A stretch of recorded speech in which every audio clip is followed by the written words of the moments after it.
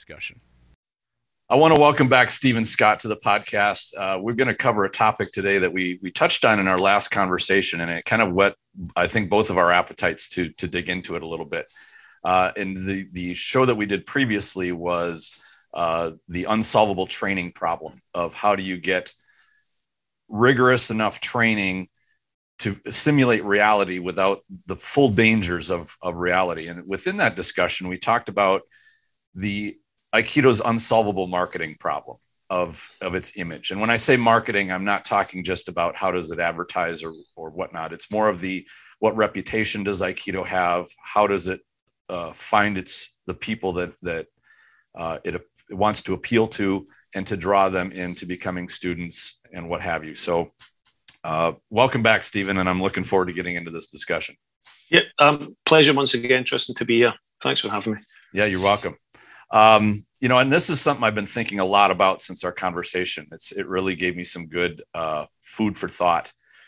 And in breaking down, I think there's there's two basic aspects we're dealing with here. One is the popularity of Aikido, and the second is its, its reputation in terms of being an effective martial art. And I think um, you know, there have been others that have written articles about the what they see as the waning uh, popularity of Aikido, with uh, dojos getting smaller, uh, the the body of students getting smaller, um, all the way to things like uh, Google search results, how fewer people are searching for Aikido mm-hmm. in terms of you know that metric. And there, there's some others, but um, I think that that's maybe a good place to start is the the popularity uh, question, uh, and we kind of put the the reputation one off. We'll, we'll discuss that in a little bit. Um, I've heard from a number of, of dojos that are are having issues with their the body of their students just getting older. Younger students mm-hmm. aren't coming in as much. Now it it does vary quite a bit region to region. For example, in Japan, from what I understand, Aikido is still very popular. They don't have any problems with popularity waning. Um, but I think throughout the rest of the world, I do perceive uh, an issue with Aikido losing popularity and relevance generally. What what is your opinion on that? Yeah, I would have to agree, Tristan, because uh, from my own personal perspective and, and from the number of people I know that are in our organisation and, in fact, that are part of the British Aikido board, I know that a lot of clubs have taken a hit, particularly over lockdown. And with them trying to reopen, they're just not going to do it. Uh, a lot of clubs have just closed down completely. Sometimes it's premises that have been closed and they've not they've not been able to relocate anywhere with the correct numbers of students that they had originally. And that on top of you know changes in how people work and why people are working differently now. People are working from home quite a lot. Remote working is now a real thing and people are now no longer willing to travel for something.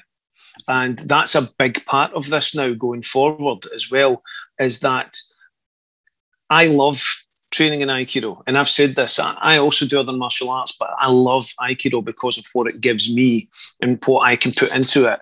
And I will happily still travel 10, 15, 20 miles to train, mm-hmm. regardless of how long the class lasts, because I have a love for this particular martial art. But I tend to find now that most people are now no longer willing to do that.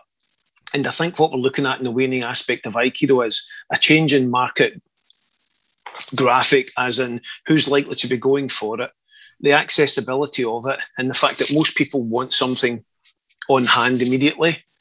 Uh, then they're, they're, they're, not willing to travel for it. So, an example of that is I had a club in Glasgow. We were an after work club pre lockdown, pre COVID. Now, post COVID, we have the option to open back up, but about 60% of the students are now no longer willing to travel to the club, despite the fact that most of them will be travelling on average about one quarter the distance I will in order to get there to run the club.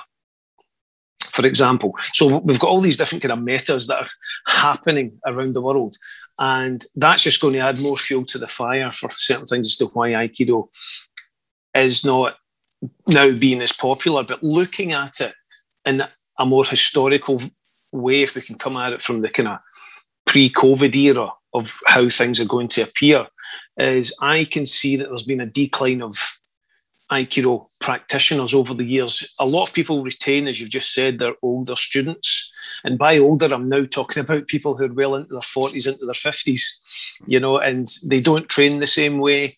They don't have the same youthfulness and vigor. I'm one of them. Uh, the years of abuse from martial arts starts to take its toll. So not only are we an aging population in Aikido, but new students who come into the class and look are going to see people who are not anymore in the prime of life that they were back in their early 20s, mid 20s, early 30s. So they're seeing older person Aikido being done as well. And even though I train, I still train hard and I still train vigorously as best I can. If they look at what I'm doing now compared to how hard I trained when I was 30 and now I'm nearly 50, it's a completely different thing. And that doesn't bring young people into the class. Now, I think when we look at that, unless they are dedicated to learning something like Aikido and they've done research, uh, what that then leaves us with is people who want to come into Aikido because of either they've read about it and it sounds what they want, or it's it's philosophy of uh, non-contention that's constantly, I'll use the term spewed out across the internet as to how Aikido is for pacifist people and we're all very gentle and loving and you know we we we shower roses and rainbows over people when we throw them, and it's a beautiful thing. It is a beautiful thing, but they're missing the point of the martial side of it. Um, that's not going to be attracting too many of the younger generation who are now being brought up in the the embrace of more hardcore fighting uh, entertainment and those types of styles. And back when I was younger, when you did martial arts, you were an outcast and a strange person, but everyone thought it was something that would be good to do. But in order to do it, you had to travel a tremendous, I mean, I had to travel about 25, 30 miles to go to karate back when I was 14. My father used to drive me uh, up down to Glasgow from where we lived in Ayrshire. And I just don't see people doing that nowadays. So not only is your travel base getting smaller, your catchment area is tightening, and you now no longer have the people who would perhaps be willing to go to these classes by hanging about for an hour after work. So all this demographic is getting smaller and smaller and smaller. And on the back of that, as you mentioned, we have the, the rising unpopularity of Aikido in terms that what most people see presented online as demonstration Aikido is taken because it's on YouTube, it must be real, right? You know, it's, it's got to be true uh, it's taken out of context, and the martial aspect and the roots of this martial art are clouded. So people don't consider that. They only see the big demonstrative technique and they fail to see the root of the technique that it comes from.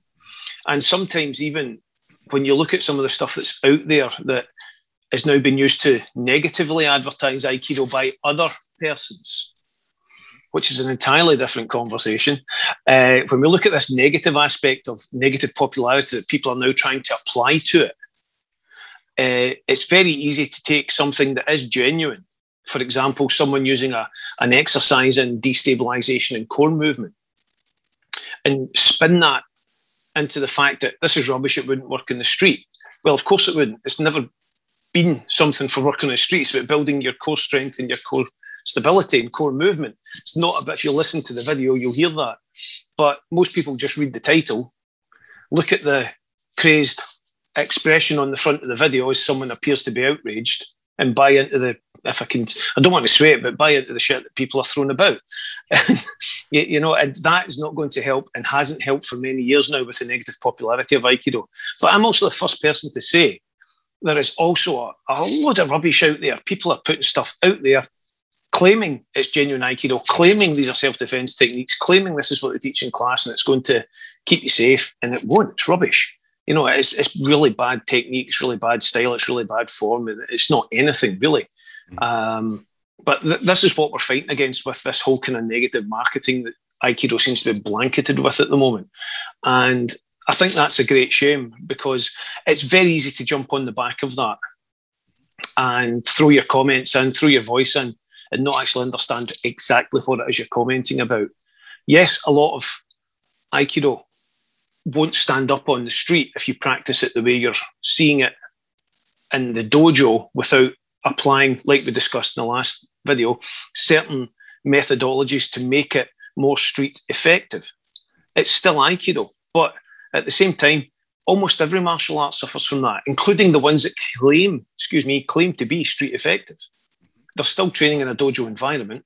They're still putting videos out there that are training in a dojo environment. I, even, I even honestly can't see the difference. Yeah, it's all demonstration. Yeah. You know, uh, you know, and as I thought about this, it, it seemed to me like there's three main showcases that a martial art has. The first one being competition for those arts that have competition, you you see champions emerge, you see the highly skilled practitioners, you get to see what a live confrontation, what a live fight looks like, and who prevails. You get to see the techniques that that tend to win fights, uh, and it's exciting. It's a it's a an entertainment. Um, now, then the second one being uh, we see movie stars and TV action stars, where in my opinion, that's really just demonstration Aikido done with a multi-million dollar budget with, you know, really high quality stuntmen, cameramen, you know, directors, lighting, you know, all the stuff that makes a, a demonstration really, really compelling. They can show you exactly what they want to show you. And then you get the third one, which is what you were describing, which was just plain old demonstrations. And, mm-hmm. um, and I think Aikido maybe on purpose, but maybe a bit accidentally, has got caught in this weird gray zone where it really doesn't do any of those very well. In fact, the third one I think is probably the least effective in terms of garnering interest and generating popularity, uh, particularly in the light of the fact that you don't see, uh, and, and there it is there. It's just a lot of people don't recognize it of techniques of, of Aikido being used in competition effectively. Um, hmm. Now, there's a fourth one I think that came around with the internet, and that is surveillance videos of actual fights and real mm-hmm. violence. And I think that this has been a it hasn't really been a benefit to aikido very much because there are very few examples. There are a few but there are very few of aikido techniques or aikidoka that have been effectively used uh, their aikido in a real setting. And uh, I know uh, Remy Helgeson has got uh, mm-hmm. few, he's got there's some videos of him actually in doing his job as a nightclub bouncer, effectively using the controls. It doesn't look as clean and and nice as it does in a normal demonstration, but that's how real violence goes. Um, but I think the, the the real benefit of that of those surveillance videos is to see how different violence in real life looks like compared to a sport fight or yeah. a John Wick movie or or anything like that. They're remarkably different. Um, and I guess this is where I came upon that idea of the unsolvable marketing problem is if you are if you have an art that is focused on a civilian real world environment, where do you how do you showcase it? How do you show people without lying to them and creating just a really fancy commercial mm-hmm. of what Aikido is capable of? And and, and I'm not talking even just the techniques alone, although that's that's a big question mark in many people's minds. Uh, I think that's the easier one to answer than even the strategic aspect of mm-hmm. Aikido, uh, the the creative problem solving that often happens with it. Um, that's the hardest thing to catch on a camera, and and I think maybe as we are going forward, we're seeing a generation that is been weaned on video. They need to see something on yeah. video to be convinced that it's, it's, actually true. And if yeah, there isn't a video completely. of it, it must not exist. Which you know, you and I are old enough to realize how foolish that that perspective is. I mean, um, you know, we've we've grown up learning not only from what we see with our own two eyes, but what we've been told by our elders and what what has been shared with us by people who are much wiser. Um, mm-hmm.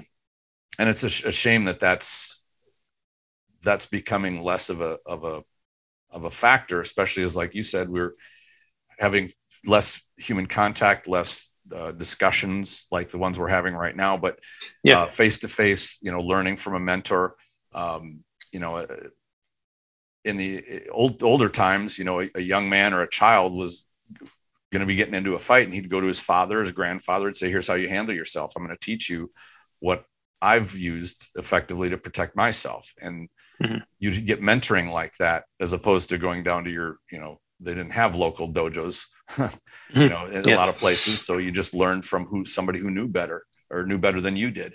Um, and and so I think that as we go forward, though, penetrating that problem of the image and the reputation, I think it is going to be a challenge. Now, I don't think it's unsolvable. I think there is a way to do it, uh, and it starts with, uh, I think, realizing that we as individuals and as a you know community of practitioners of aikido have to take res- our responsibility we can't just say it's other people outside that are criticizing us or they're making our, our life hell i think 95% of aikido's issues are generated by people within the aikido community. Like it's a self uh, created problem most most most often. Um, and we we fix ourselves and we will fix the rest. And not just by getting another movie star or you know that that will drive don't. a lot of that you know even if we did like if somebody emerged that was turned out to be make another movie you know basically a, another type of a steven seagal or something of that nature um, we'd get a flood of people that were knocking on aikido dojo's doors and they'd find out within a month or two that well they're not teaching me to do that you know mm. and and i almost wonder if the the popularity of the john wick movies had got a lot of people going into jujitsu gym saying, I want to do what Keanu Reeves did in that movie, and then realize, well, training doesn't really do that. you know, it's it's grueling and and it's not sexy. And um, you know, I think a lot of martial arts suffered from the popularity that came from movie stars making making a wide appeal. So um, in fact, I think that's a, you could make a great case that the popularity actually damaged the quality of the art because it yes, became, yeah, it did a commercial success and in doing so lost lost its heart um, mm-hmm. and what what made it really effective um, yeah. and i think that that's actually leads us into the reputation part of if the quality of an art diminishes then the reputation becomes tarnished and and that's essentially the, the problem that many arts had, have gotten into um, I, I count aikido as, as one of those Mm-hmm. Um, although I will say, in my experience, I've run across some senior practitioners and instructors of other arts that I would ask about this, like, what's your impression of Aikido? And a lot of them have told me this. They said, you know, uh, I didn't know either. I didn't know what to think of it, or I didn't really think much of it. And then I ran across somebody that really knew what they were doing, and it was amazing. Like, it, mm-hmm. it's legit, absolutely. Um, and I had, you know, a couple that say, well, I I didn't think much of it, and you know, uh, or you know, as soon as I ran across somebody that that showed me what it was about, I knew that that there was really something to this. Um, but a lot of them will admit, yeah, just like every other martial art, there's instructors that don't know what they're doing, practitioners that don't know what they're doing. Oh yeah, there's the real deal. You know, there's a, a small portion that are high quality. They know what they're doing. You don't want to tangle with them. You know, uh, what they can do is is remarkable. Um, and I, I do think it's up to each of us to to pursue becoming that if we want to be uh, ambassadors of the art. Mm-hmm. Um, yes, yeah, absolutely. It's one one one mind at a time is how we change the, the overall perception. Mm-hmm. Mm-hmm. Yeah, and uh, I, I agree again completely with what you're saying here, Tristan, because it's the when we when I look back on the years I've spent studying Aikido, I have, I, I say this quite honestly, I have seen and trained with more pedestrian and lackluster and mediocre instructors than I have exceptional ones. Someone who has been able to make me stand back and think, and I'm, I'm not throwing myself up into the gods here and saying, look how great I am. I'm just saying that someone who makes me step back and go, well, I can actually learn from this person. Mm-hmm. Because I usually find that the opposite applies. One, sadly for me, the the dojo I first started out in, we had a really high standard and everything was mixed. We also did a little bit of karate, particularly when I appeared, uh, because I was one of the first guys to come in with a karate first dan. That other than the original instructor who hadn't trained in it for 20 years, and they wanted me to start doing some strikes and stuff for them and showing them how to punch properly so that they could defend against strikes. And that's an ethos that I still bring into my Aikido classes to this day. I teach people to strike because if you aren't taught how to strike, how can you hope to defend, practice defense properly if you can't strike properly or if you can't strike with good intent? It doesn't it's common sense. You know, you can't put a shelf up without hole in the wall, roll plugs, screws. You know, yeah. if you just hold it against the wall and leave it go, it's going to fall down.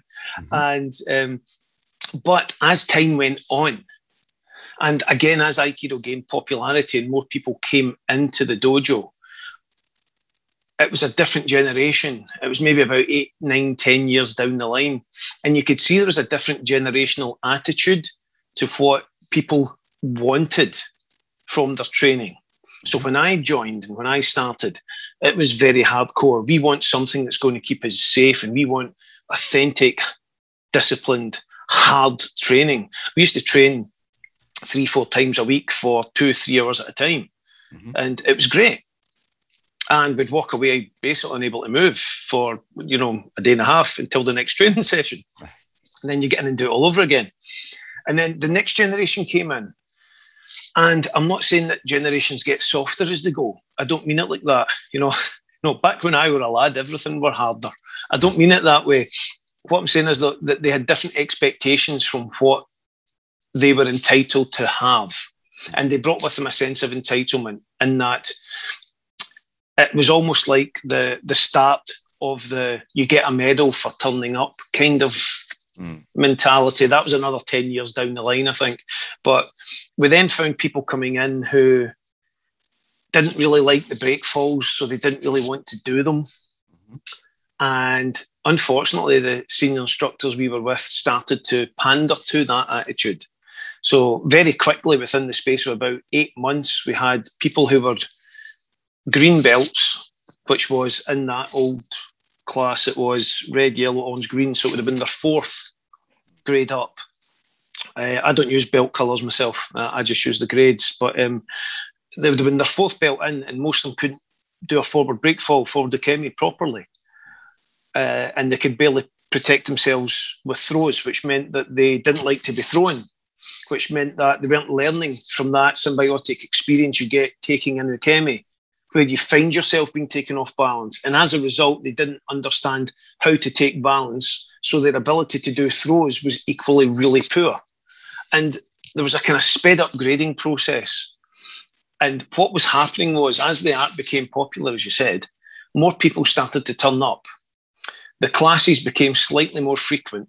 One of the junior instructors got elevated to Dan grade. He went off and took extra classes, but his standards were so far below the rest of the class. He was just looking for people to come in extra beer money, if that's the way I want to put it. It was extra right. beer money for him. And these were his students, so the standards started to drop.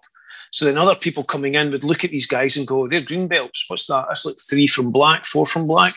Um, well, they're rubbish. This class is rubbish. And then the numbers started to drop.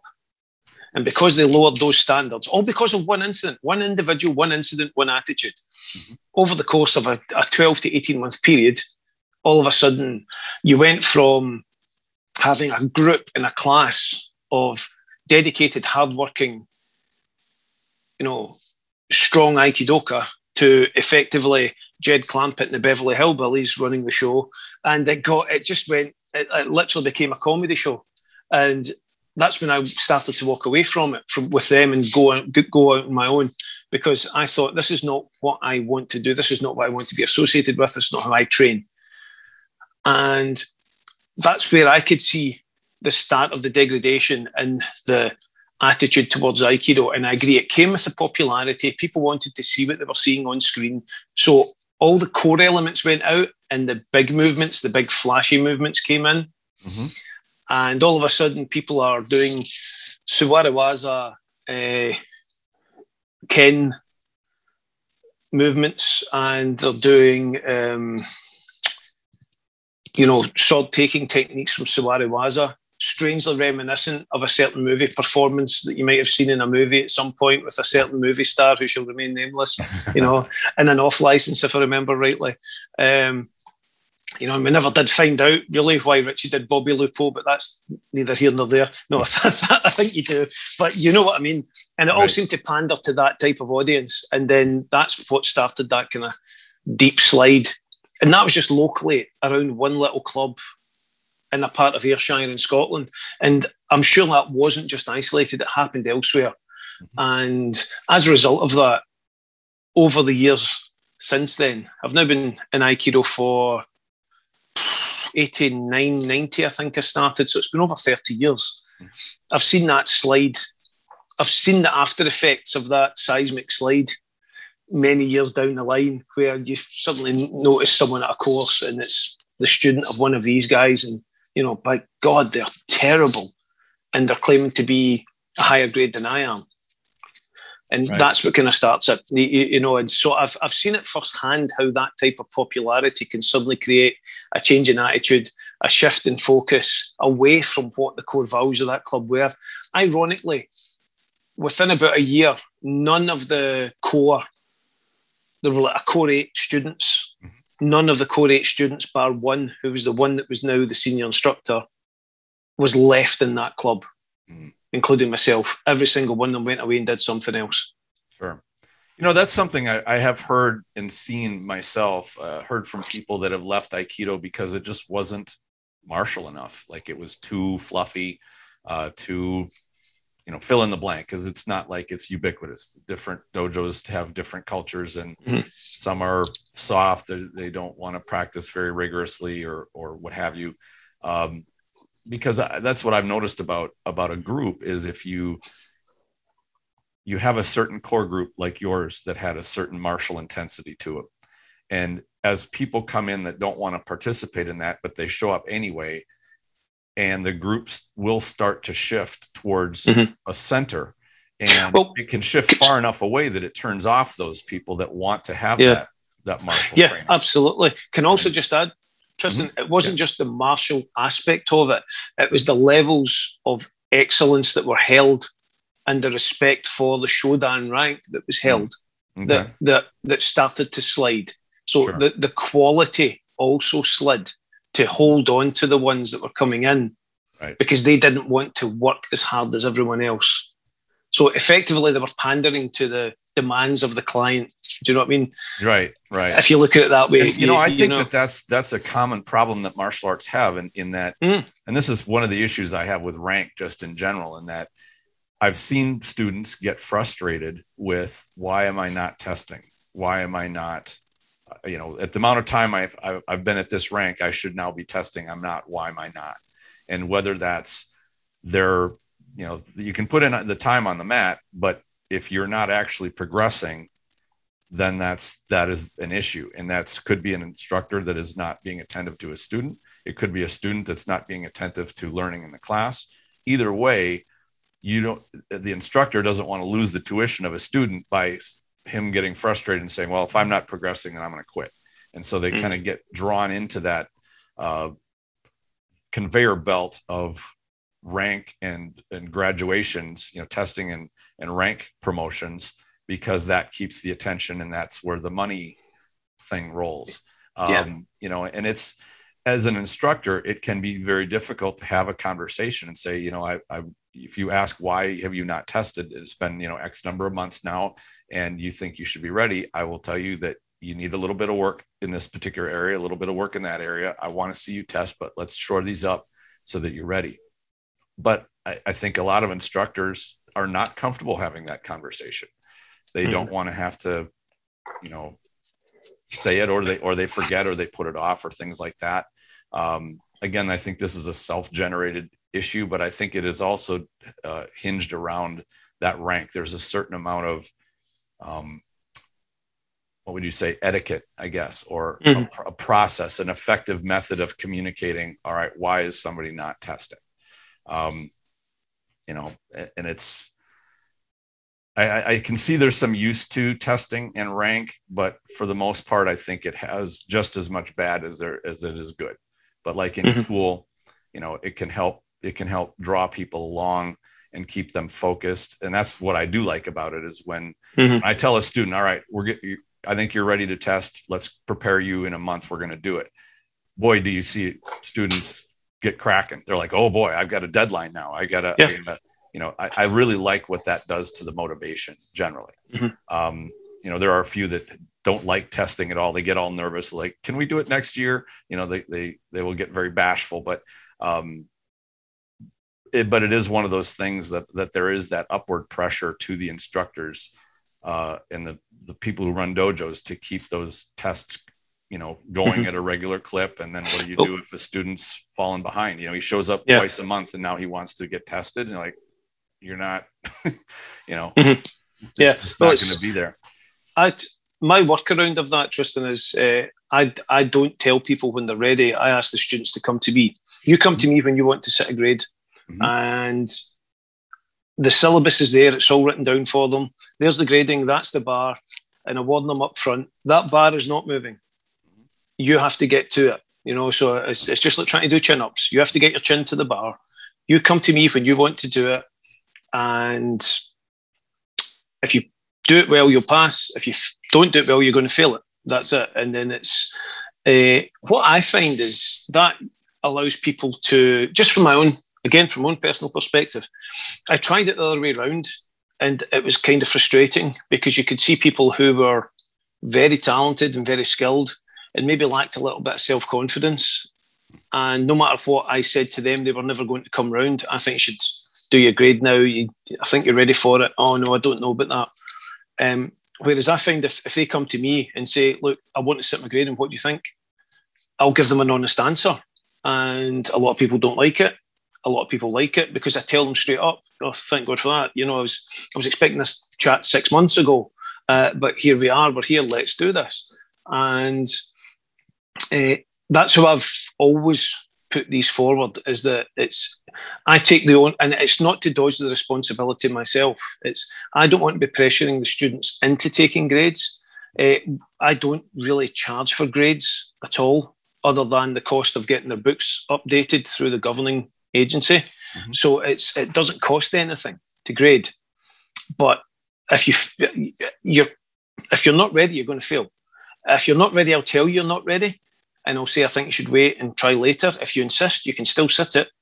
Uh, unless you pull a blinder out the bag, you're going to fail. And then you have to deal with the concept of failure. And I put it back on the student. I try and treat everybody as a responsible adult. Um, ironically, it tends to work better on kids who tend to act more like responsible adults than the adults. Yeah. Um, but there we go. Uh, yeah, and I've, I've found that for me, that works particularly well. Um, we have a set grading date every year, and it's up to the student to come to me. We usually do it just before mid December. So they know we have one date a year. They know when it's coming up, and they can tell me if they want to go for the grade or not, and that's it. And they've had a year to work on it, so they could be ready if they put the time in.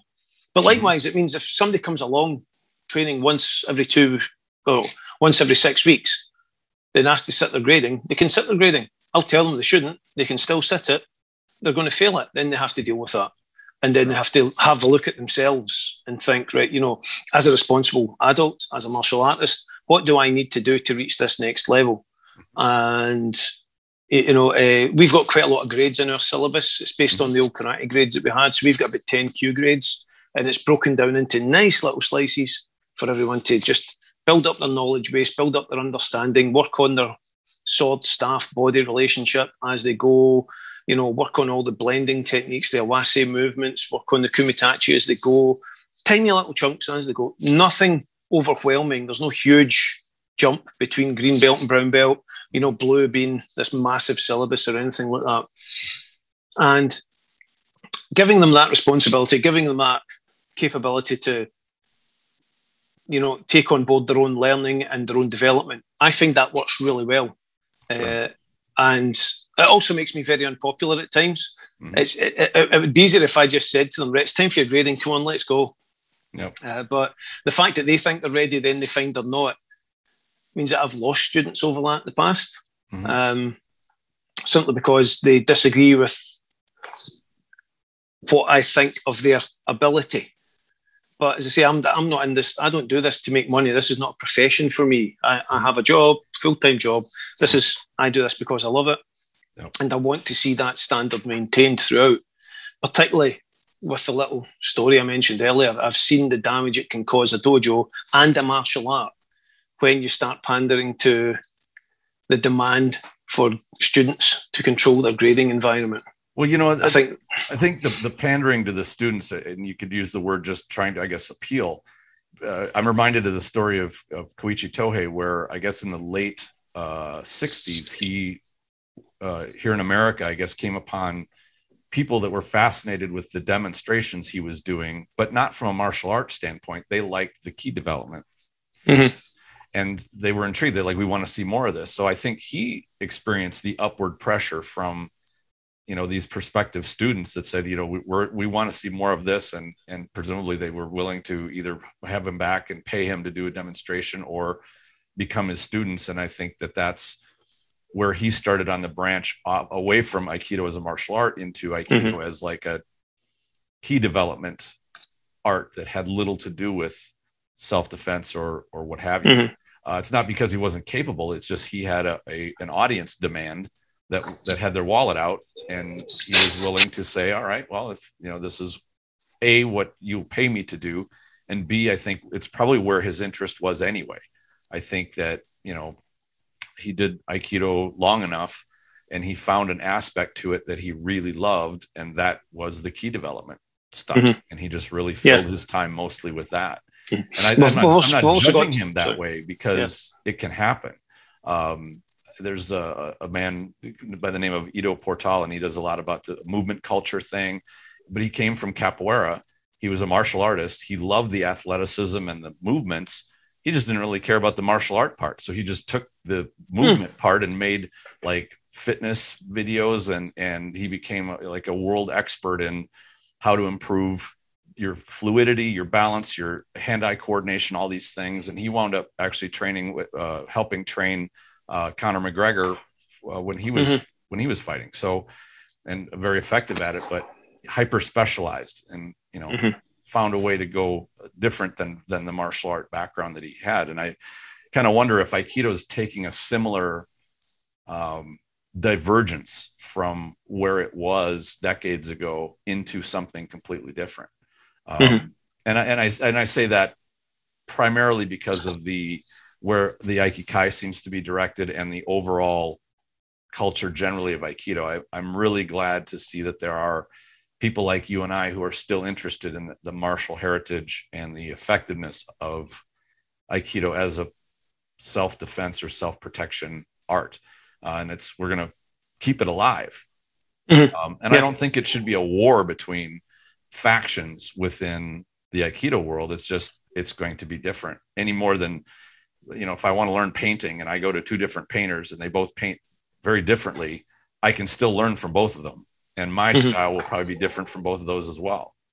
Yeah, yeah, absolutely. It's uh, I've I've always tried to have that. I've I've never trained traditional aikikai purposefully because uh, perhaps it's just me. Perhaps it's just how I choose to live my life. Mm-hmm. Uh, I, I don't need justification from someone to tell me if what I do is good. Mm-hmm.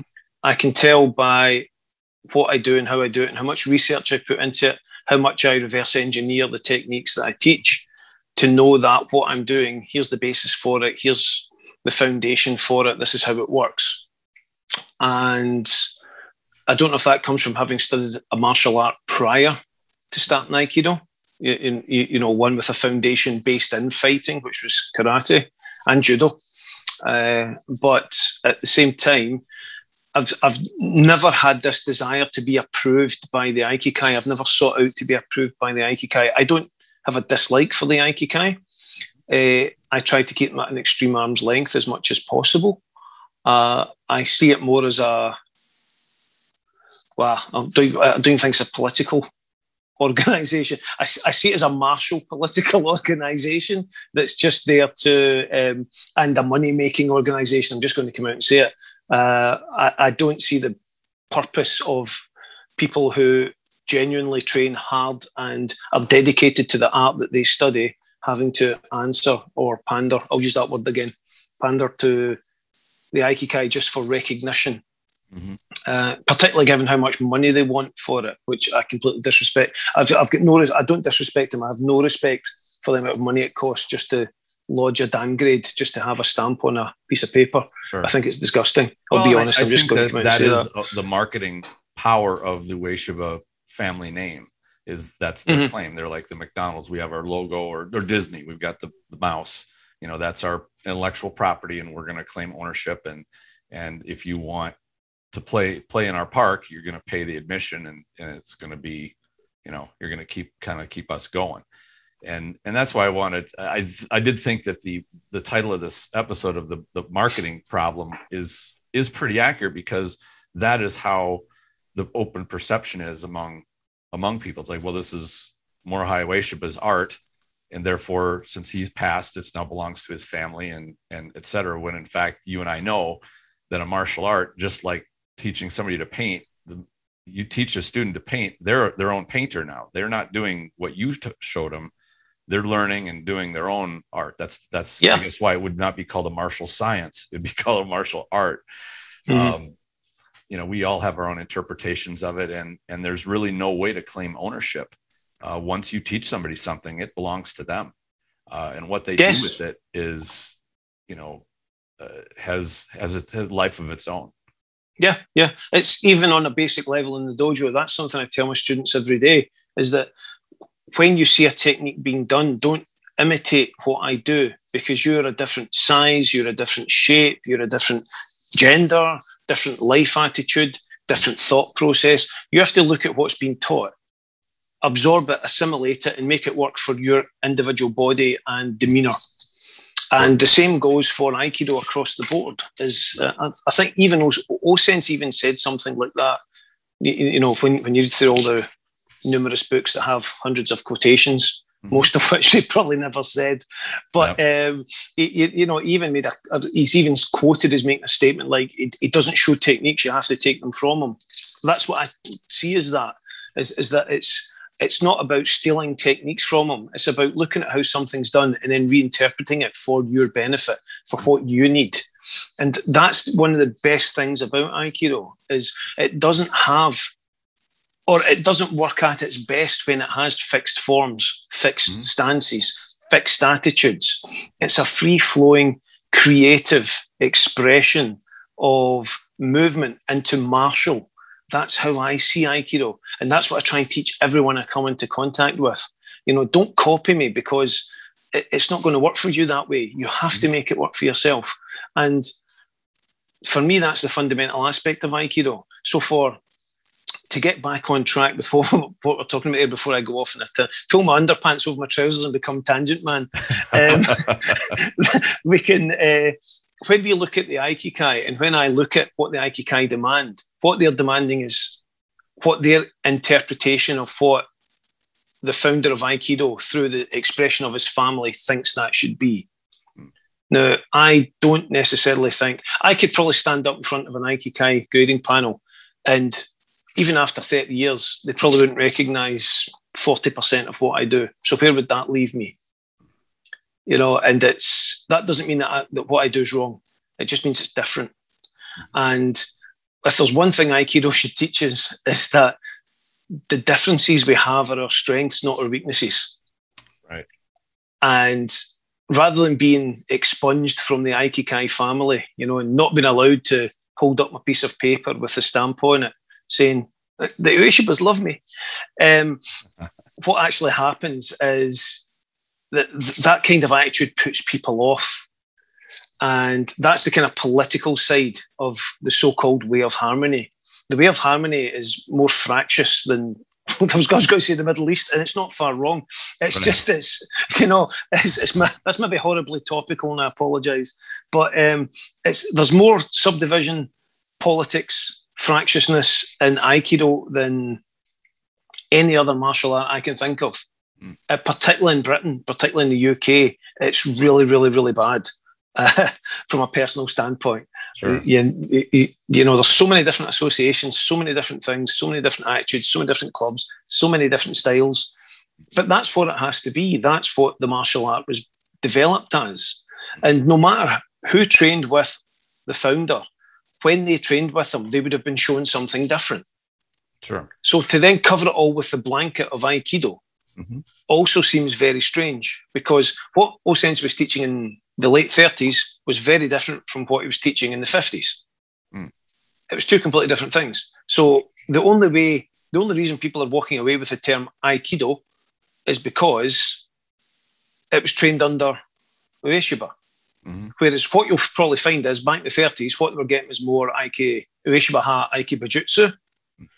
And what they were getting post Second World War was probably more Aikido, as in the formation of something that's softer, falls below the radar of a martial art to be avoided and banned by the occupying forces, and something that, that that's acceptable as a, a body art and a, a self development tool. So you've you've got this whole you've, you've almost got two polarized extremes with all the little segments in between, and that's a kind of um, that's just an aspect of the, how what Aikido is and how that martial art works. Sure. You know, as as I was thinking about this too, I, I was thinking back to the how uh, Morihei took on martial arts training because the era was entirely different. He would travel around, he'd find anybody with experience, as, as far as I understood.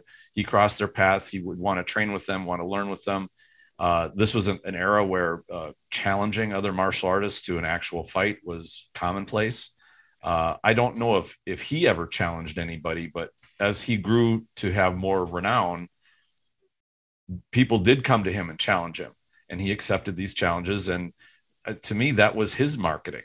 Really, I don't think he really had a a, a goal of I want to put together, you know, create my own organization or my own student base or my own school or anything. I think he just pursued his art, impressed people, they were drawn to him, and it kind of naturally, organically grew into a more formal structure as time went on. Mm-hmm. Um, and you look at today, imagine somebody trying to do that. Like they basically would just visit dojos, train with people, impress them, and then what? You know, expect to be challenged, and then you know, mm-hmm. walk away impressing somebody so much with getting beat in a challenge that they want to become your your student and they want to follow you. Like, I suppose that would be possible, but I would imagine that any dojo that would have somebody like that come into it would probably throw them out. Just say, you know what, if you're in here to challenge my students, challenge me, or to try to uh, poach students out of my school, then you're not welcome here. Get out. And, mm-hmm. and there's so the marketing success that he had was kind of built to his time and his era and the thing the, the culture that was there, which is completely different than it is now. And so, you know, uh, I think that if there was one thing in common, and that is be an extremely competent martial artist. If you're going to be an instructor or going to be a senior martial artist, you're going to represent your art, do it really well. That's what you have in common with the Morihei uh, in, in, in his yeah, in his prime. Absolutely. But the other part we don't the other parts we don't have. But I think that that where we find the success, or at least where I've found it, is having students that take their Aikido into the real world and have success with it. Like those people love aikido and they they love coming back and they love learning because they can they can enjoy the successes of seeing it work and function in the environment it's supposed to function in um, mm-hmm. you know I have, a, I have students number of students that have come back to me with stories about how they've had to use aikido and not just that they had to throw somebody down really hard but they've used very soft and subtle ways to manipulate a situation to come out peaceful for everybody and nobody got hurt um, you know, creatively, because that's mm-hmm. kind of what what I I think Aikido has within it is not just really super effective, powerful technique, but also the developing the mind to find creative solutions that do not involve having to, you know, fold somebody up, you know, inside their clothes, um, mm-hmm. or or hurt them to stop them. Um, and I think those success stories are are what and I wanted to cover this in the show, not to just pose that we have, you know, this incredible marketing problem, but to say, I think there is a way forward that's going to be productive, and that's going to be through creating our own success stories with our students and with our our own training. And and I don't want to address this merely to instructors to say uh, how their what their focus should be with their students. Like, what if you are a student, you know, and you're you're learning Aikido your passion and what you want from your aikido is something your instructor should be responding to and giving that to you and if they can't you need to either get them to start doing it or find an instructor that will do it uh, mm-hmm. uh, but we all have control even if you're just started within six months of aikido you have a, an incredible amount of influence over what you get out of the art and, yeah. and this is something that i think uh, a lot of people have perhaps they don't realize it, and that is that you as a student can exceed your instructor in their ability. Mm-hmm. You can go beyond where they teach you, and not just by become, by finding a better instructor and going and learning from them.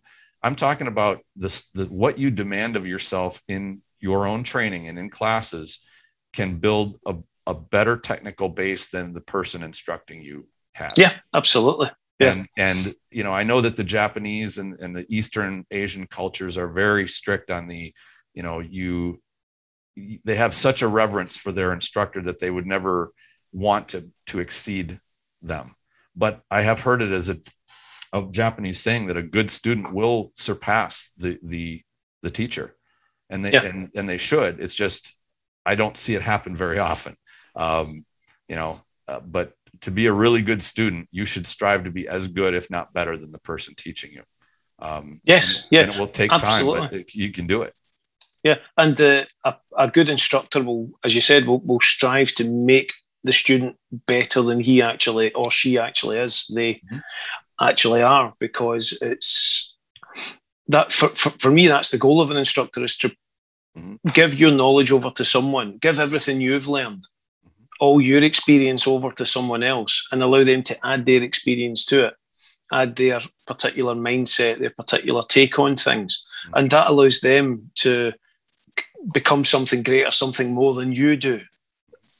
And, and both. It is a you, wonderful experience to see a student flourish to that level where they yeah. are on par with you. And then, then, and this is, I guess a lot of people would probably, a lot of instructors would probably find this intimidating that day when you learn something from your student that they teach you mm-hmm. something you find that they learned that they did not get from you and they are now giving it to you to me that's a wonderful experience yeah, absolutely um, it's but i can see where where it would be easy to think that that is a damage to your own ego and to your own self mm-hmm. esteem to say well this is the person i taught and now they're teaching me mm-hmm. well i think to put that in perspective firstly we have to realize we're all getting older if you're teaching mm-hmm. a younger person and they they can exceed your performance if nothing else but by age.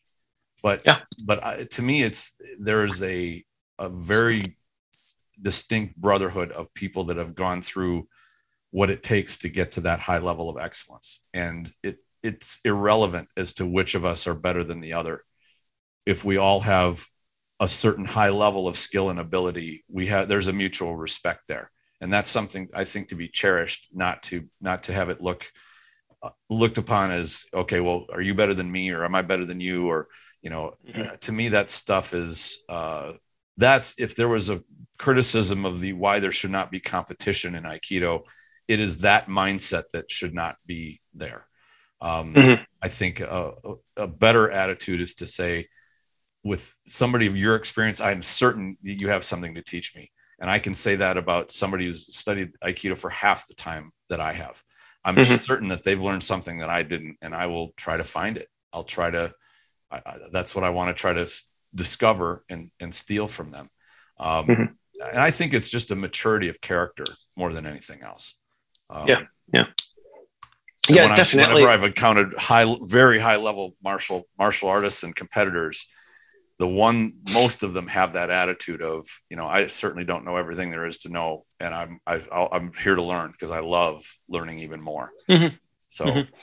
yeah absolutely mm-hmm. uh, and it's one of the things that we should be striving to do as martial artists is to not you hear people say talk about destroying your ego and mm-hmm. all, all that it's it's not it's about coming to terms with the fact that that you like everyone else around about you is a human being that you will have your limitations, but and to look at the fact that those limitations may only be temporary and respect that there is going to come a time when physically you're going to be more limited.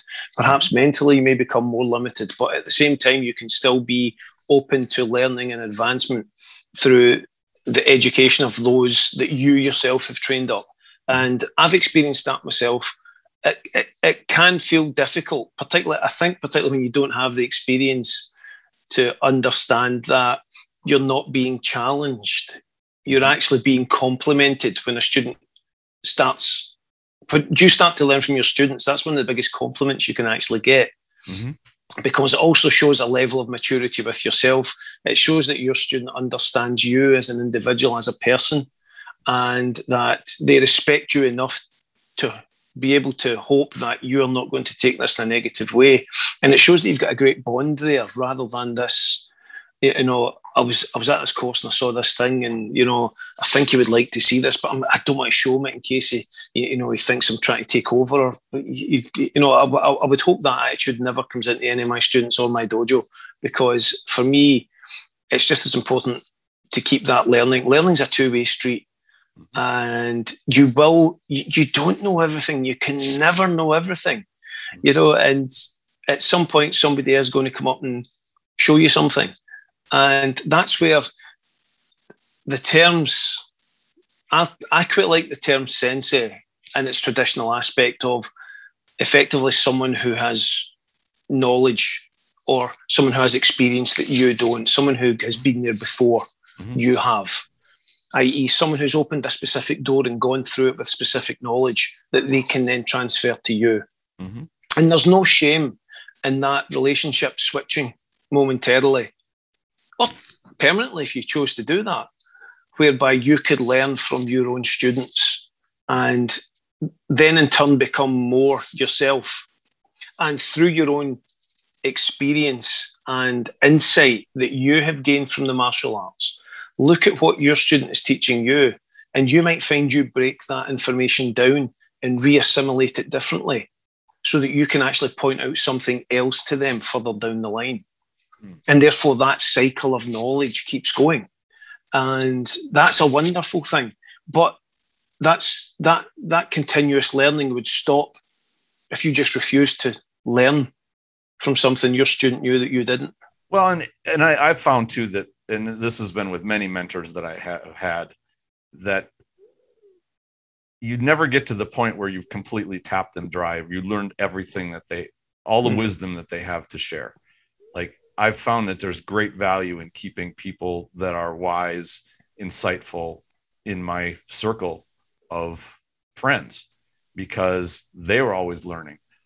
They will always have something that I have not heard from them yet or learned from them yet or even just new ideas because we're all growing together. So it's not like there's a, a finite amount of water in a, in a certain cup and then once you drink it all you're done and now you got to go somewhere else. That's, i mean sometimes you do sometimes you do need to find a new mentor but mm-hmm. that doesn't mean you need to abandon or leave somebody that is still providing you insights that help you grow. Um, and i think that that that's good that's something too that that feeds into just your constant life growth you know where you you have have somebody that's been nourishing to your intellectual growth or your physical growth or you know mm-hmm. your your martial experience uh, to to keep people like that around and you know we see so many influences that are just a complete waste of time uh, that are that will drain your your spirit they don't mm-hmm. nourish, nourish your spirit at all. And that's to me where I see the great value in a good instructor because what they will bring out in a student is is just so amazing. Uh, you know, given that chance to have that relationship with with uh, you know mentor to student. Um, one of the things you know that I wanted to, to cover, and this may be jumping track a little bit, but uh, and that is Aikido's identity crisis of exactly what is it? And and this i think is something that does contribute to the marketing slash image the marketing problem in terms of an image. Um, you know when you ask 10 different aikido practitioners what aikido is you get about 15 different answers. Um, and i think it's okay that there's not one ubiquitous answer that covers everybody. And it's not that the answer needs to be the same it's just there has to be a clear answer. And i think mm-hmm. this is if there was one thing that i think would help the aikido image the most is just some clarity like what exactly is it supposed to be what is the benefit going to going to have because any business will tell you if you're not clear what your product is or you're not clear mm-hmm. what your service is or what you're clear what the benefit to the your customer is mm-hmm. you won't get any customers they will be confused they won't even know what to expect mm-hmm. um, and it's it's our duty as those representatives of the art to at least be clear of what we're we're trying to do and what we are the benefits we're going to bring people for coming to us to learn. Um, mm-hmm. Now, I don't think that that's something that the Aikido world or even a single organization can necessarily message because you know an organization say has a dozen dojos in it each of those dojos is a little bit different in what they exactly want to offer uh, but i think a, a, strong message is is definitely would be very useful for the image part of of aikido mm-hmm. Mm-hmm. yeah that's that's interesting i'm just thinking here perhaps this is why aikido is still proving popular in japan mm-hmm. because the people the japanese they're their cultural heritage and mindset naturally understands what it is they're getting without perhaps them having to be told what they're getting. Sure. Whereas in the West, as you say, we want we want the name, the title, and the tagline with the trailer mm-hmm. of what we're actually going to be receiving. Sure. And if, as you say, again, if we get that wrong, if we look at what we are producing here as a business without that business plan and that identity, it's very difficult for people to understand what they're coming into. And I think that's a great analogy you've just hit on because it, it literally highlights why it's so easy to discredit and to deride what a lot of people in Aikido are doing because it, it does give off so many mixed messages, so many mixed signals. And invariably, a lot of people who I'm going to go out on a limb here. A, a lot of people who also teach Aikido are not actually aware what they're teaching mm. in terms of what their their end product for their students is supposed to be. They're just reiterating the training that they've been given. And I'm not saying they don't love it. I'm not saying that they're not passionate about it. But unless they challenge it and unless they they have that strategy to make it something that they themselves understand completely and can then direct. It, again, it becomes diffused, lacking focus, and therefore even more confusing to people when they want to see what it is. Uh, I mean, from my perspective, when, whenever people ask me what Aikido is, and it's a very vague answer, but it's it's possibly the, the most true answer I can give them. I just tell them it's it's what they make it. Quite literally, Aikido is what you make it. So you have to have that focus behind you. And I think that that's coming from the same angle as yourself here. You have to have that same focus. So I, I can have students who want their Aikido experience to be a social experience. They want to come along, meet people, make friends. That's fine. That's what they do.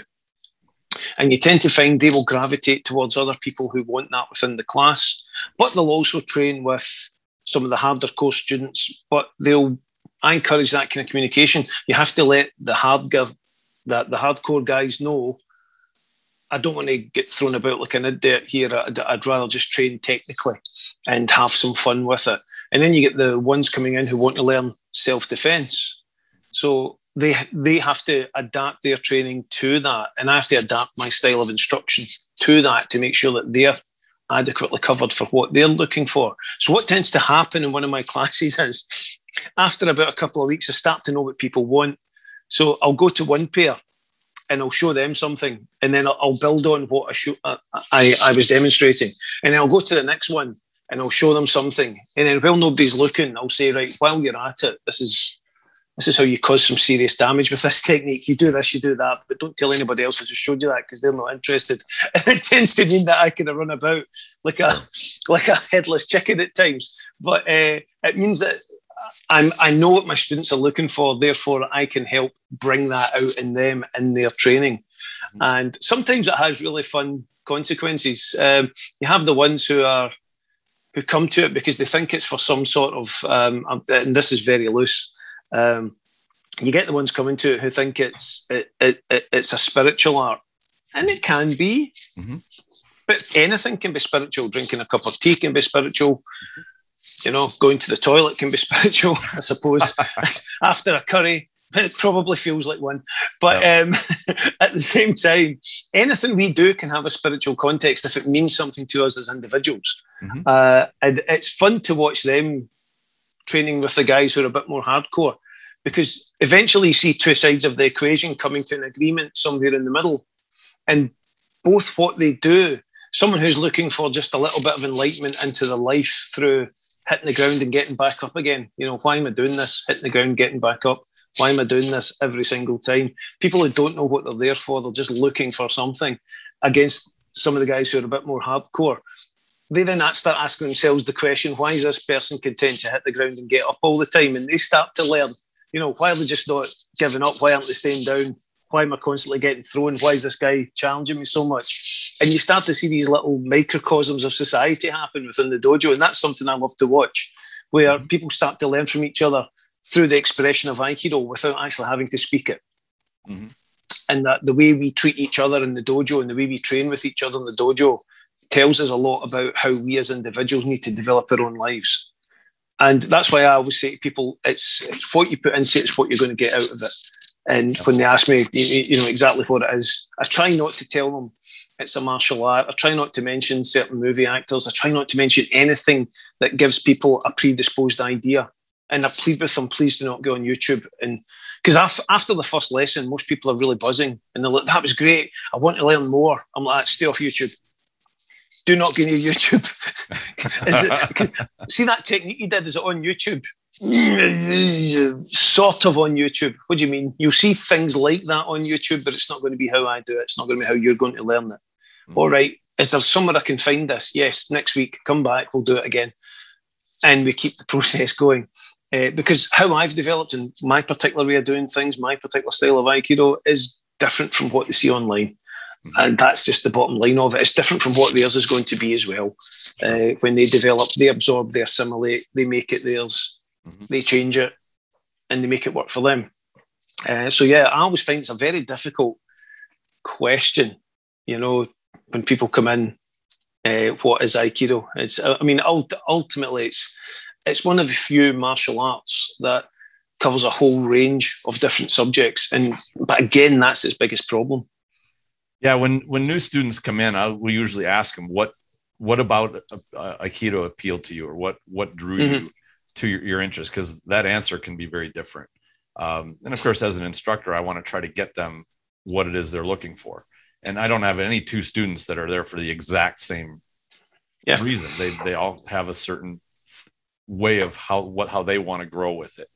Um, and so, you know, I think we've talked a little bit about some of the, the disadvantages, the unclear messaging or the the vague mission statement or, or lack of one uh, is a problem. I wanted to kind of end this on what are some of the advantages that that Aikido has because I think these often get overlooked um, in terms of what what Aikido offers that a lot of other martial arts don't. And you actually hit on a word that I had to write down because this is, applies so well, and that is accessibility. Um, it it is a grappling art that, and it's it's not easy to find grappling arts accessible to adult students. Uh, and mm-hmm. for those I count, you know, wrestling. Uh, yes, jujitsu is pretty uh, accessible generally, but I don't know how it is in the UK, but at least here in the states, there are quite a few jujitsu gyms around. But a lot of them appeal to the twenty-something or the you know young men that want to go in and and go hard.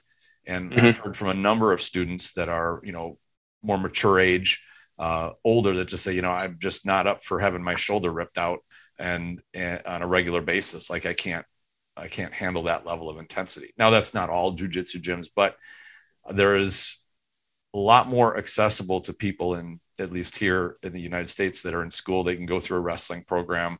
They can go through physically intensive uh, type of a type of a school. But you know, if you're an adult after high school, and maybe college, you just don't have access to learning wrestling, or whether it's catch mm-hmm. wrestling or competitive wrestling. Like that window is closed, and you just don't don't even have access to it. But uh, I do think that that Aikido, I like personally. I like, and I think this is an advantage how it deals with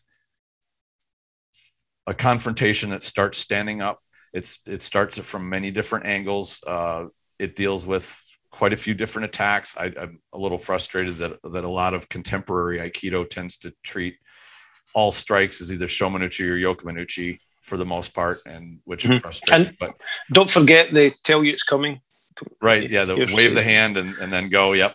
Um, you know, you're looking for the wrong body signals. So I've had to re- readjust that. But, you know, it, I think it is overall a pretty versatile art. I like how the movement, and I've been going through uh, my students with this once again just recently about dealing with kicks because I've been asked a number of times, like, oh, you know, how does Aikido deal deal with kicks? It's like pretty simply, just keep moving. If you keep moving around, and you mm-hmm. see somebody load a hip and you move, they're on one foot. It's hard to readjust mm-hmm. that kick.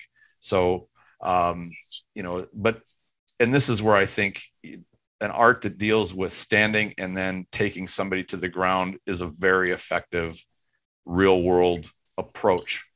Um, mm-hmm. I'm I'm more fond of the the throws and the drops and the and the stuff where you get okay on the ground than the joint locks. Although mm-hmm. I like joint locks a lot too. I just think they kind of take second to setting somebody on the ground or mm-hmm. letting gravity do do the work, um, i.e., hitting him with the planet.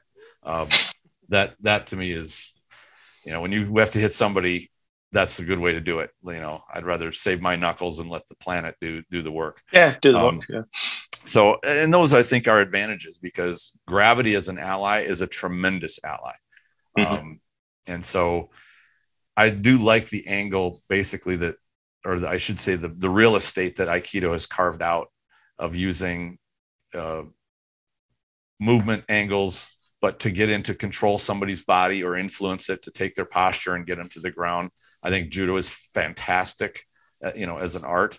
I I wish it had was a little more uh, open in terms of dealing with attacks from all different angles and not mm-hmm. just straight on. You know, that tends to be more of a, of a sport kind of a thing. But, but I mean, no, no art does hip throws better than than judo. I mean, hands no, down, no, not, even. Yeah. Um, and I view that Aikido, Judo, uh, karate, and even sumo are very similar arts in many respects. Uh, more than more than would would be to meet the eye as meets the eye, but what are some of the other advantages that you would see? I think and i think this is where clarifying the message message on what our advantages are is the way forward rather than just saying well we're gonna mm-hmm. you know we got we got to get on the same page. Well that, that's kind of vague you know? But mm-hmm. and to choose the any particular dojo or instructor chooses the advantages they feel are important to them. They don't all need to be identical. Um, but as long as they're there, when somebody says, Well, what is Aikido about? What am I going to get by studying there? Here they are. Here's the advantages. Mm. thoughts? Well, yeah, for me, the, the first one, Aikido's biggest advantage is that when practiced properly, and this, this one's a little esoteric, but again, it's something I tell everyone. Uh, when practiced properly, Aikido is unique because it doesn't change you to suit the art it mm. changes itself to suit you. Mm. And in order to do that, yes, you're going to have to understand basics. Yes, you're going to have to understand postures. Yes, you're going to have to understand movements. But those postures are not going to be fixed. Mm. Uh, I've studied, or I've trained with, studied maybe too strong a word. I've I've I've trained. Well, I studied karate for 16 years. I did judo for about four years, five years when I was younger, and I've also studied with guys who do some forms of kung fu, some Wing Chun, uh, Hung Gar, Lao Gar, all this type of thing. And a lot of these have very fixed, and some karate styles as well. Shotokan, for example, have very fixed stance postures, and they it's almost like they want to change you to suit the art rather mm-hmm. than finding where you fit into the art with your particular thing. Aikido has styles, but for me, and I don't mean this in a silly way, it has no style once you start practicing it properly. It has styles of application, but it has no style once you start taking the art on board. And I think that's a very important thing. Its other greatest strengths are that it's it's usable by again once you start to understand the basics, it can be used by anyone. Don't, you don't have to be extremely fit. You don't have to be super flexible. You don't have to be strong. You don't have to, you're not favored by having a specific gender for specific roles within the, the art itself. It's uh, and that's where that applicability comes in. You can have someone come into your dojo who has mobility issues, uh, problems with their knees, problems with their hips, and you can still teach them some Aikido that would be prohibited movement and other martial arts because you couldn't adopt these rigid postures that you would need to get into. They can still learn some Aikido. Mm-hmm. What I love about Aikido as well, another strength is again, when you practice it on a, and when you break it down and look at the various weapons movements and everything that we do, when you start to combine your weapons movement into your unarmed techniques, which is something that, from my personal opinion, a lot of styles within the Aikido community don't do. They practice their weapons differently. Their postures in weapon training is different from their postures in taijutsu and their body movement. I don't train that way. All my postures remain the same. And I've worked on that. That's something I've worked on over the past 15 years to create a system, the way I teach it, that when you're training unarmed using Bokken or Jo, the movements you're doing, for example, tsuki, gedan, gaeshi, is actually ikkyo. You're practicing ikkyo from a shoulder grab, you know, and things like that. And your body movement with the Jo reflects exactly how your body movement is when you're unarmed. So you can practice on your own. You go away and you practice all your Jo movements, practice your Bokken movements, and what you're actually doing is practicing your partnership movements.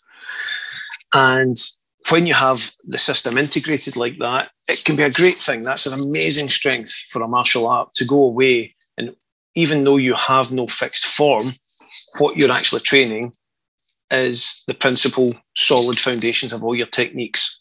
There's very few martial arts have that that kind of symbiosis strongly between weapons and body movement. And I think that's one of Aikido's greatest strengths as well. Uh, what I also think is really important and what's missing. And what people what a lot of people miss is a lot of people look at the throws and the techniques and they think it that'll never work if you had to use that which is not necessarily untrue. A lot of the throws and techniques in aikido won't work in any given situation. But then again most of the techniques and strikes punches grapples takedowns in any martial art will not work in a given situation as well. It's just Aikido makes bigger movements, demonstrative stuff, so it's easier to tear it apart, but thinking that's not how a human body reacts when you do this to it. However, the principles forming the foundation of those techniques can be applied. You know, Tai Sabaki, ma-ai, keeping distance, keeping movement, understand, you know, taking proper zanshin, being aware of your surroundings. All of this stuff which is very basic belt and braces movements in Aikido. How to stand, how to adjust your posture, how to bring your center down, how to control your body movement, how to control your body weight. All of these things can make a tremendous amount of difference in any form of applied function. And it's one of the hidden strengths in Aikido is that we learn how to use our bodies more efficiently to undertake the movements and the techniques that we're trying to do. Now, this can be brought to bear in even basic mundane things, you, you know, like, like, pushing a trolley. you know, if you drop your center and get into your hips and get into your thighs and use your calves properly and get your body in a nice, strong forward momentum position, even something like, you know, pushing a laden trolley becomes easier because you're biomechanically using your body in a much more efficient faction, uh, a much more efficient way using more efficient biomechanical factors. And that's something that, again, Aikido can give us. So when you no, translate that, that you, you just hit, I think, on the best de- uh, definition of ki development that I've heard. That's yet. exactly what I call ki. Yeah. It's biomechanics. It's mm-hmm. focus intent, focused intent with proper attitude with biomechanics. That's mm-hmm. what ki is. It's when your mind and your body are functioning on the same level at the same point, doing the right thing exactly as it's needed in the exact moment. You know, and you're not your spirit's behind it. You're not shying away from it. Mm-hmm. You, you, you, know that's that's what happens. Um, you know, you can put a ladder up the side of a building, and you can ask me to go up there and fix the roof, and I'm forward projected. My body's behind it. I've got the proper attitude. I get to the top, and my spirit falters, and I look down, and all of a sudden I can't move. you know, and it's like, ah, I'm going to die up here. You know, right. as long as your body, mind, and spirit are functioning on the same level, doing the same thing, that's your ki. That's ki movement. That's what it's all about. You know, sure. everything working together for a final goal. I'm fine to get to the top. I'm, and then that's it. It's like, you know, I would say the red arrows, but it's a slightly different color. Um, so uh, yeah, that's that's that's what all that's about. So all, all all that fundamental stuff, that's the strengths in Aikido, and that's one of its biggest benefits. It's the things you can't see that you get from Aikido. That's what the general public, the ones that are out there deriding it, looking at it as rubbish. This is not going to work. This is not going to be effective on the street.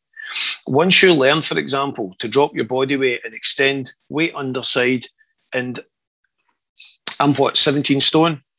If I can get 17 stone coming through my palm as a move, a nudge against someone who's trying to be aggressive towards me, I hit that in the sternum. They're going to know about it. It, it doesn't have to do a lot of damage. You get it under the chin, they're really going to know about it. You know, you get that focused intent that I've learned from doing Bokken work all these years. You know, I knew those Shomenuchis would come in useful sometime, uh, but that's what it is. It's, it's all about focus and intent. And it's the hidden strengths that people don't see. And that's one of the things that I feel quite sad about when I see people deriding Aikido. They look at techniques being done by someone who clearly has not been doing this for a tremendous amount of time. And sometimes the the level of self-control that comes from the technique isn't there. And that brings me on to my last one. Mm-hmm. Aikido provides us with self control. And I'm not talking about, you know, I'm, I'm not going to eat chocolate. I'm going to keep off alcohol. You know, we'll stop smoking. This is all self control. I'm going to sit in a cushion and I'm going to meditate for six hours a day because that's the that's the secret to enlightenment. My aikido will get better if I do nothing and just sit and stare at a wall. I'm not talking about that kind of preconceived notion of self control that a lot of people seem to get wrong. Aikido works by teaching us to control our own bodies. You cannot control your partner until you can control yourself. If you fail to control yourself, you cannot extend that out into another person. And that's one of the fundamental things I teach all my students from day one. You're not learning to throw that individual in front of you. You're learning to control your body and to put it into motion in a specific way with a specific focus and intent that will result in that person falling over. And we're basically going to hit them, as you said, hit them with the planet. Mm-hmm. Uh, I, I, tend to do a bad James Brown at that point and scream gravity. But um, I'm not going to do it just now. Nobody deserves to hear that. Uh, but yeah, it's it's all about if you cannot get your body under control to extend that through to the person that you're working with. If you fail in controlling you, and in order to do that, you have to understand yourself. You have to know yourself. And that is the last thing that I would say that Aikido brings forward. And again, it's one of the big hidden secrets. And I think it's why a lot of people turn away from Aikido, is because it's very difficult to look at yourself and look at where your strengths and your weaknesses lie and come to terms with those. And then want to translate that into techniques that will work against someone. Mm-hmm. Because that takes a lot of work.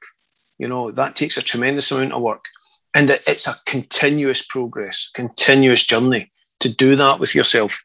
I mean, I've now got problems with lower spine and hip. I've had to go away and start relearning a lot of the stuff that I've taken for granted over the years. You know, that includes getting up out of a chair uh, sometimes. So it's never mind translating that into the dojo. So in order for me to continue doing Aikido, I've had to stop, look at myself, go back to that and rework it it makes you look at you. And all good martial arts do that. They make you look at yourself, you know, and that's one of the biggest strengths about it. Looking at yourself, understanding yourself, being pleased with what you see, forgiving what you don't like, and working to change it. Sure. You know, I, I can think of one other advantage, and that is, and I've heard this from other martial artists, even in jujitsu, judo, they say Aikido practitioners do some of the best falls and have some of the best ukemi flat out of any art. Uh, and I think that that's I think that that's pretty accurate. Uh, mm-hmm. The ironic part to that to me is as soon as you lay your hand on on somebody an aikidoka who's on the ground already, they tend to be way out of the uh, out of the the realm that like they're not comfortable there. Um, than yeah. And to me, that's a hole in my own Aikido that I've I've strived to fill for the last 10, 12 years, and with my students to say somebody you do get down on the ground, somebody gets on top of you, they get a hold of you, you should be able to get to your feet, and they cannot stop you. Um, but I, I, do think that building a, a, good relationship with the ground and to be able to get to the ground and back up safely and quickly is is an advantage. And I think that mm-hmm. that Aikido is widely reputed to have some of the best uh, ukemi out there. Um, and I'm not even talking the, the, the really nice demo ukemi that that's pretty good too. But uh, the ability to make sure that the ground does not hit you and level, you know, take you out. Um, mm. And yeah. when we're kids, we love the ground. We do everything on the ground. We're made out of rubber and we're bouncing around, rolling and stuff. And then we grow up and we get terrified of it because the ground represents pain. Uh, yeah. and we're not far off there, but there's a way to learn to, to manage that. And I, that I think is a tremendous advantage mm-hmm. for Aikido. Well, ukemi is about taking responsibility for your own safety.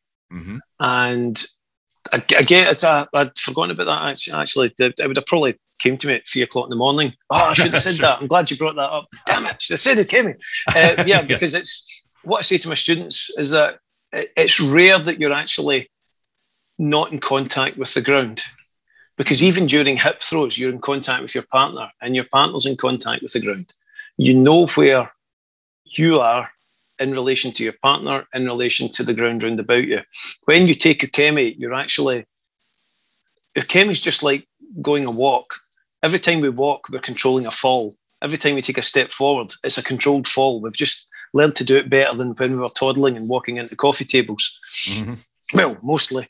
Um, I still walk the coffee tables, but uh, the, the, the, the, the aspect of ukemi is actually an art in itself. And I don't mean in the metaphysical and esoteric way about falling down, getting back up, you know, Kendo Jurai, that type of thing, where you, you know, fall down nine times, get up for the tenth. Um, it's it's about realizing that your connection to the earth isn't something to be afraid of. It's it's where your strength lies, mm-hmm. and invariably, a good someone who has studied and worked hard at Ukemi will also, I think, find themselves not unfamiliar or fearful of coming into contact with the ground, just like you were saying there. You know, your techniques might not be strong once you're down there, but the art of getting there isn't a problem. Mm-hmm. And invariably, what causes injury more than anything else is, is it's, it's, it's not falling; it's the sudden stop at the end. What right. Ukemi teaches us, what Ukemi teaches us is, I actually had that conversation in my youth's class last week. If you fell out of a plane, will it kill you? And they were like, "Yeah." I says, "No, it won't." Yes, it will. I says, "No, it won't." Falling out the plane won't kill you the stop at the end when you hit the ground, that's what's going to kill you. You know, right. and you can see them going, oh, right, yeah, yeah, very clever. And hmm. it was just to make them stop and think about, you know, be aware of what you're expressing and how you say it, sure. uh, and look, you know, listen and read the small print always. Um, so it's it, it, coming into contact with the ground doesn't have to be something to be afraid of. In fact, that's why most of Kemi allow us to come back up onto our feet because we're rolling with the impact, we're getting back up and continuing with it, uh, and trying to kind of make that that metaphor of Aikido work for us. It's not about slamming into the ground, it's about rolling and continuing your movement, extending your body through the ground and then getting back up. And I, I, we try, I try and bring that to students quite a lot as well. But that, yeah, that is a major point uh, that had completely slipped my mind there. I don't mind admitting that. Uh, Ukemi is one of the biggest strengths in Aikido because there's very few martial arts where you will learn. And I'm not talking about, as you say, the big flowing giant Ukemi jumping over four bus-sized humans like Evel Knievel.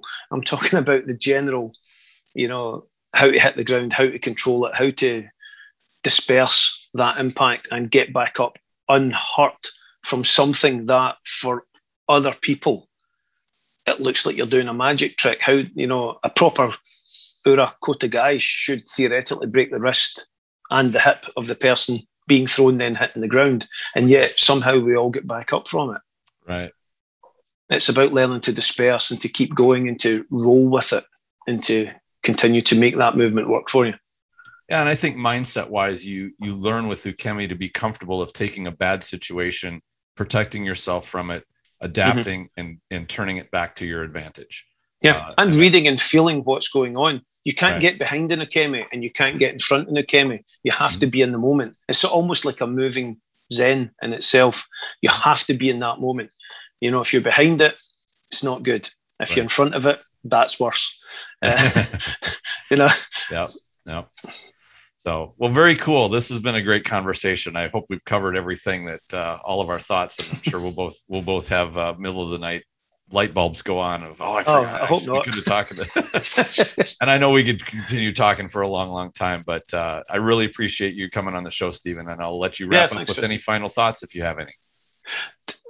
No, or do I? Uh, yes, just just a very small one. uh, is, uh, just, just so everyone knows, when we're talking, it's almost midnight here. It's been a long day. Um, it's uh, yep it's going to be interesting to see where Aikido is going to go in future, mm-hmm. uh, particularly with regards to how we, as an Aikido community, I, I don't think we can overcome the negative mm-hmm. aspects that people are throwing out there in itself. But what we can do is, you know, put a candle in the window basically through our own actions, through our own thoughts, and through our own uh, deeds that we do in the dojo and what we try and put out into the world because it's not everyone out there is doing bad aikido. There are people out there who are trying to preserve the martial aspect of it, the martial side of it. There are people out there who are doing amazing things to develop the physical side of aikido. There are still some people working along the Tohei line doing you know, kind of like internal body work with it and taking it in that direction. It's important to remember that no one is wrong in these aspects. There's so many facets to that diamond that that is Aikido. It, it's just we do have to remember. Uh, I can't remember who wrote the statement. It was polishing the mirror and grinding the stone, which is you know, and sometimes training can be like a, a rough diamond. You, you, know, sometimes it has to be buffed down and cut, mm-hmm. and then the facets polished to see the shine and the sparkle. And it's the same with the polishing the mirror, grinding the stone. When you get a stone and it's rough, you have to cleanse it and buff it. And then sometimes you just have to rub it down until it starts to shine, until you can see yourself. And it's only by looking at yourself that you can actually see that reflection of where you really are and what you can really give out. And that's what's really important for Aikido is that people stay true to what they are doing and don't you know, discredit everything else that's going on in it. I have the greatest respect for people who are out there doing, you know, Ki Aikido, uh, Iwama style Aikido. It's, uh, I'm just trying to think of, uh, you know, even Aikikai. You, you know, I, I, I'm not disrespectful of it. What I don't like is that when they then turn around and say their way is the only way that functions. You know, it's, it's it's important that as this art is developing and growing and where it's going in the future, that we all remain clear about that, and that we always I say just work to do the best we can with it and keep that light going because when it comes to it, people who do come into your dojo, when they see you being genuine and you putting out there what is good, solid, proper foundational Aikido technique, then they're going to know it's something worth doing. And then they can go away and tell 5, 10, 15, 100 people. And that's where the positivity is going to come. It's, it's going to be a long haul, I think, trying to turn around the negativity that Aikido suffered over the years. But uh, with proper focus and intent by guys like yourself, people who are trying to make a difference, then it, it can only have a positive effect. You know, we might not completely overturn everything, but it's going to have a very positive effect. So for all the guys out there doing good Aikido, working hard at it, you know, getting in the dojo, putting the time in, putting the effort in. I, I just want to thank them for keeping this art alive and keeping it as uh, pure and you know uh, focused as it is because without the folk like that without the people who listen to this kind of thing without the ones who want to see the art preserved and who want to protect it then without that, we'd all just be kind of lost and floating about in the darkness. So again, just want to thank everybody for doing that. That's very well said, and and I want to echo those those thanks. It's it's not always glorious when you're training and sweating in your your own dojo, and it doesn't feel like you know the the world is kind of a not there. It's not present, but your little corner of it will make a difference when you're doing it right and you're putting in the work and that effort will show. So, um, you know, there's a bunch of us out here that are doing the same thing. And I think that that's going to be, I like your candle in the window uh, analogy of, you know, it's not going to be the only way. You know, I know Silat went through this back, I think in the 80s, mm-hmm. where they got a huge flood of popularity and they got, you know, the, the art itself got watered down, but there were people within it that kept true to its its its heritage and its mm-hmm. martial integrity. And you know, maybe we'll get to a situation where yeah. that'll be you know that's what we're dealing with, and and um, you know it doesn't need to be a war, but we're going to keep keep that candle burning. Absolutely, we've got to remember floods happen and flood waters recede. Right. You know, and it's what's left at the end of that. That's that's what you can rebuild. Mm-hmm. Absolutely. Well, thank you very much, Steven. This was another great conversation. I really appreciate it. Yeah, Tristan, it's been a pleasure. Excellent. Well, you have a good night. You too. Thanks. Thank you.